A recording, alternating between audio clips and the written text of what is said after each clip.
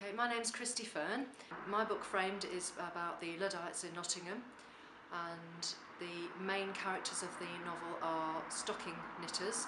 Uh, Nottingham's always been a bit of a hotbed of um, dissent and this overflowed really. There was a, a bit of a, an uprising in Nottingham during the Regency period. Uh, Lord Byron, who is uh, one of our local heroes, went to the House of Lords in London and made his maiden speech uh, about the about the Luddites, the uh, the frame breaking bill, which is essentially to bringing um, death penalty for frame breaking. Uh, I'm a self-confessed Byron nut.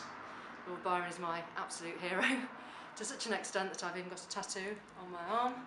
And um, this is the portrait of Lord Byron.